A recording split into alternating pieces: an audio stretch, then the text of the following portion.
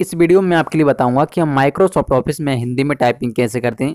जैसे कि जब भी हम कोई डॉक्यूमेंट्स बनाते हैं, या फिर कोई एक्सेल सीट बनाते हैं, या फिर कोई प्रेजेंटेशन बनाते हैं तो हम उसमें हिंदी में टाइपिंग कैसे कर सकते हैं।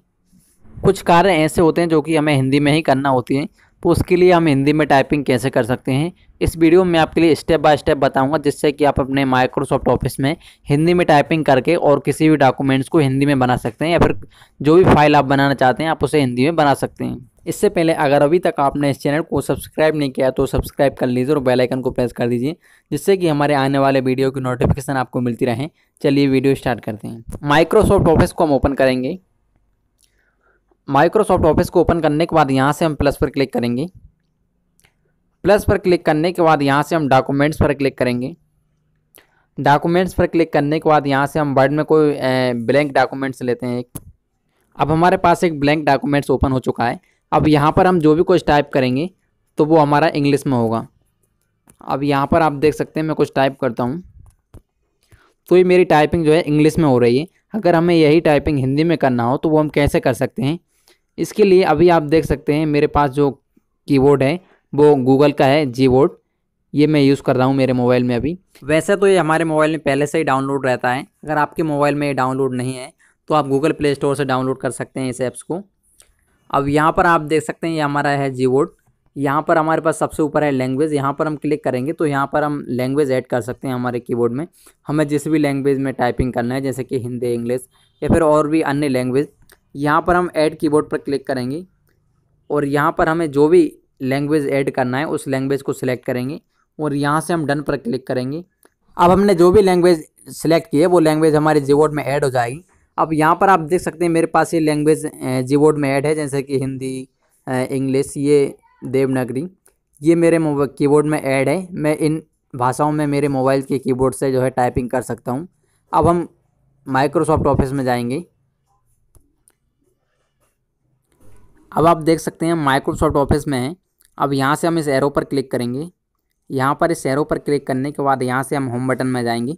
इस होम बटन में आप देख सकते हैं हमारे पास लैंग्वेज का ऑप्शन है। यहाँ हम लैंग्वेज पर क्लिक करेंगे। तो यहाँ पर हमारे पास ऐसा कोई ऑप्शन नहीं है जिससे कि हम हिंदी फ़ॉन्ट का उपयोग कर सकें और ऐसा भी कोई ऑप्शन नहीं है जिससे कि हम हिंदी फ़ॉन्ट डाउनलोड कर सकें। अब यहाँ से हम सामने लैंग्वेज का साइज़ चुन सकते हैं। हमें जिस भी साइज़ में टाइपिंग करना है।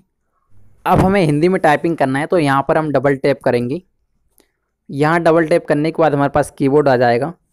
अब यहाँ कीबोर्ड में आप देख सकते हैं, जैसे कि हमारे पास ये कीबोर्ड ओपन हो चुका है। अब यहाँ पर हम ये लिखा है E N dot H G इसको अगर हम दबा कर रखते हैं तो हमने जो भी हमारे कीबोर्ड में लैंग्वेज ऐड की थी, वो लैंग्वेज हमारे लिए यहाँ पर दिखेंगी। हम यहाँ से हमें जिस भी लैंग्वेज में टाइपिंग करना है, उस लैंग्वेज को यहाँ से हम सिलेक्ट कर सकते हैं। जैसे कि मैं यहाँ से हिंदी, इंडिया सेलेक्ट करूँगा। तो यहाँ पर आप देख सकते हैं, अब हमारे पास जो हिंदी, इंडिया का जो कीबोर्ड है वो ओपन हो चुका है। अब हम यहाँ से जो भी टाइपिंग करना है, वो टाइपिंग कर सकते हैं। इसी तरह से अगर हमें और भी लैंग्वेज चेंज करना है तो यहाँ से हम इस आइकन पर क्लिक करेंगे तो हमारी जो लैंग्वेज है चेंज हो जाएगी यहाँ पर।